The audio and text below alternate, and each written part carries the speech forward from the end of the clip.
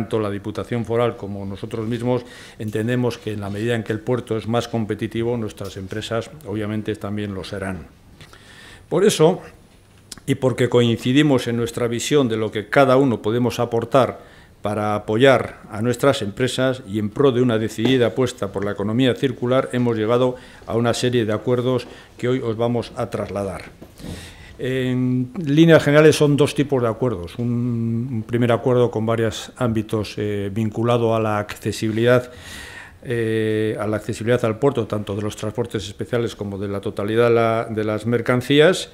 y el segundo que tiene que ver con la sostenibilidad vinculado a la gestión de los excedentes de material y, vinculándolos a las, a las obras de ampliación básicamente del espigón central del puerto. Sobre el primero nos dará más detalles nuestro diputado foral, Imanol, que me acompaña, pero sí quisiera en este sentido apuntar que aunque Bilbao es ya un puerto especializado en transportes especiales, queremos consolidarlo como hub y mejorar aún más el servicio y este acuerdo tiene ese objetivo. En 2018, el puerto de Bilbao eh, se embarcaron 4.290 piezas de este tipo, me refiero a transportes especiales. Muchas de esas piezas vinculadas con, con, la industria eólica y, por ejemplo, el 77% de los transportes especiales de Gamesa, uno de nuestros principales clientes, utiliza la ruta de la N240 para acceder al puerto. Somos conscientes de las molestias que ello ocasiona, lo mismo que la Diputación, y por eso abordamos este tipo de actuaciones en esta, en esta carretera. Por nuestra parte, como puerto, lo que corresponde ahora, una vez que hemos llegado a este acuerdo con la Diputación Foral, es seguir la tramitación ordinaria nuestra propia del puerto. Eh, creo que esta misma semana, me ha comentado el director del puerto, eh, trasladaremos a Madrid, a Puertos del Estado, esto para que lo avalen y tengamos luz verde para poder, para poder abordarlo. Eh, este nuevo acuerdo para mejorar la accesibilidad se suma a una de se suma a las otras dos actuaciones que ya están en marcha. Una de ellas, que seguramente todos ustedes al entrar en el puerto lo han podido notar ya, lo que son los túneles de Mamariga, que luego el diputado igual nos amplía algo más, pero que sin necesidad de que nadie nos explique nada, ya hemos visto un cambio notable. Se ha abierto ya el, nuevo, uno de los tubos, el que se ha reparado, ya se ha habilitado y creo que este fin de semana ha sido el sábado el domingo cuando se habilita, por lo tanto, hoy es el primer día de labor de funcionamiento de funcionamiento de estos túneles. La otra vía de colaboración es, por recordar un poquito, eh, que prestamos a mediados del año pasado, es con Interviac, una sociedad foral, como ustedes saben, que tiene como por objeto promover la utilización del sistema de preavisos de accesos y salidas del transporte de mercancías en el puerto de Bilbao a través de la variante sur metropolitana, la AP8. De este modo evitamos retenciones y reducimos tiempos de espera a los transportistas que acceden al puerto. En cuanto al número de vehículos que se han inscritos, se han apuntado a este sistema y se han podido ver beneficiados de estos incentivos, eh, cuando se inició fueron 322 eh, los vehículos que se habían inscrito y a medida que han ido pasando los meses, concretamente ya en diciembre eran 462 los mismos. Cifras que para nosotros son positivas y que en definitiva y con toda seguridad a medida que vaya, que vaya transcurriendo el tiempo se irán incorporando nuevos transportistas a este tipo de incentivos y se irá incrementando el número de beneficiarios. Por último, el otro acuerdo que hoy queremos presentarles y que se suma a los, eh, los tres eh, comentados para la accesibilidad consiste en los aprovechamientos de los excedentes eh, del material del procedente de las obras que realiza la Diputación Foral de Vizcaya. Como ustedes saben, la tasa de ocupación la tasa de ocupación del puerto es del 87%, es decir, que nosotros necesitábamos ampliar la oferta a los, a los operadores. En ese sentido se inició las obras de ampliación con la, ejecución de lo que se denomina el espigón central.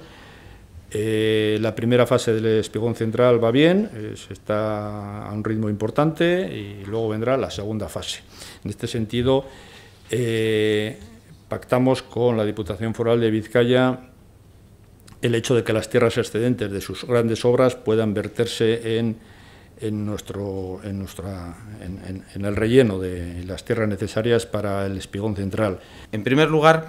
eh, quiero detenerme en el acuerdo que hemos alcanzado para dotar a la N240, la Nacional 240, que es eh, una vía que atraviesa Vizcaya, fundamentalmente desde Barázar hasta prácticamente su enlace con la AP8 o A8, mejor dicho, en estos momentos, eh, en donde eh, es conocido que hay un gran tránsito de vehículos pesados. es una carretera por la que además de que acceden muchísimos camiones desde la meseta por el Valle de Arratia con destino puerto, pues nos encontramos con una especial incidencia de los transportes especiales. Bueno, pues hemos llegado a un acuerdo para dotar a la N240 de apartaderos para los transportes especiales. Es una medida que va a tener eh, importante impacto en la comarca de Arratia, porque muchos de estos transportes especiales que hoy recorre la N240 en dirección puerto, debido a sus dimensiones y a su velocidad, ocasionan congestiones de tráfico en la zona. Hablamos de una carretera en la que hay una intensidad media diaria del orden de 10.500 vehículos, de los que el 17% son camiones, eso significa casi 1.800 camiones, y muchos de estos camiones además son especiales. Y esto es un elemento que está incidiendo de alguna forma en el tránsito y en las congestiones que se dan en esa carretera. Vamos a mejorarlo también pensando sobre todo en quienes residen en Arratia, quienes se tienen que desplazar por la N240 y además pensando en términos de seguridad vial. Es fundamental que un transporte especial eh, que tenga necesidad de parar o tenga avería pueda apartarse de la vía y para eso necesitamos de estos apartaderos. Tiene que ver con fluidez de tráfico, tiene que ver con seguridad vial, tiene que ver con calidad de vida para la gente que reside en Arratia. Estamos analizando en estos momentos 12 posibles localizaciones, 12 posibles eh, posibilidades de apartadero. Estamos analizando la viabilidad técnica para determinar el tamaño, ver eh, si soportan o no eh, desde el punto de vista del peso, las necesidades, los requisitos que tiene un transporte especial. definitivamente serán entre 7 y 9 los apartaderos que se van a localizar en el conjunto a lo largo de la N240. El segundo elemento al que se hacía referencia desde el punto de vista de la sostenibilidad, la economía circular, es al aprovechamiento de materiales. Eh, respecto al aprovechamiento de materiales de obras para los rellenos de este espigón central del puerto, yo creo que es una buena noticia para todos, porque como decía eh, Ricardo, las necesidades son inmensas en términos de metros cúbicos y eh, desde la Diputación las diferentes obras que estamos comenzando en estos momentos pues permiten eh, una aportación inicial que podría rondar los 170.000 metros cúbicos. Me refiero a 50.000 metros cúbicos iniciales de las obras de ampliación de la Supersur. los accesos al nuevo parque tecnológico de Avanto en Esquerraldea y Miachaldea, estamos ahora licitando precisamente estas obras, hemos iniciado la licitación, también hay una previsión de unos 60.000 metros cúbicos que se podrían destinar a, esta, eh, a este espigón central. Y eh, la segunda fase de las obras de Cucularra, finalizamos ahora en el mes de marzo la primera fase de Cucularra y comenzaremos el mes de junio la segunda fase, el nudo de Cucularra, ese nudo que ustedes encuentran en Rontegui, que permite acceder hacia el Chorierri, hacia la avanzada, hacia la margen izquierda, etcétera, etcétera, pues ahí también tendremos una generación del entorno de 60.000 metros cúbicos adicionales.